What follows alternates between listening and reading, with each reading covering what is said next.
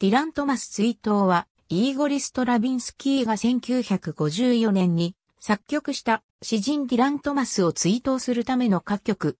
1951年にオペラ、放蕩児の遍歴を成功させたストラビンスキーのもとには様々な注文が舞い込んできた。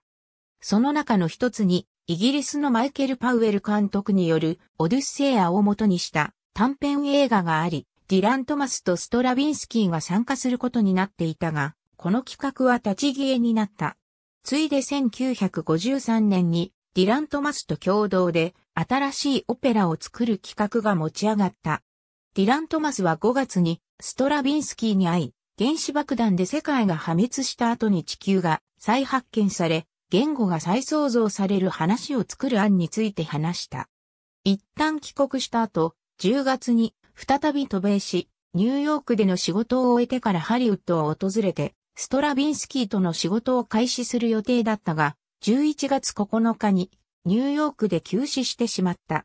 ストラビンスキーはディラン・トマスの有名なシドゥ、Not Go Gentle Into That 群内に作曲して記念とした。この詩はディラン・トマスが父親の死に臨んで作ったリフレインを特徴とするビラネル形式の詩で19行のうち1行目と3行目が4回ずつ繰り返される。ストラビンスキーは繰り返されるように同じ旋律を当てている。曲は1954年3月に完成し、同年9月20日にロバート・クラフトの指揮により、ロサンゼルスの月曜の夕べのコンサートで初演された。テノール読章と弦楽四重奏、及びトロンボーン四重奏という風変わりな編成をとる。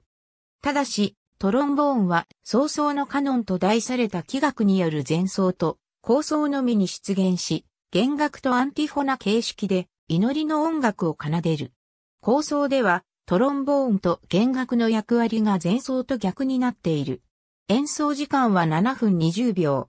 ストラビンスキーはそれまでの折衷的な手法から一歩を進め、全曲をセリー音楽の原理によって作曲している。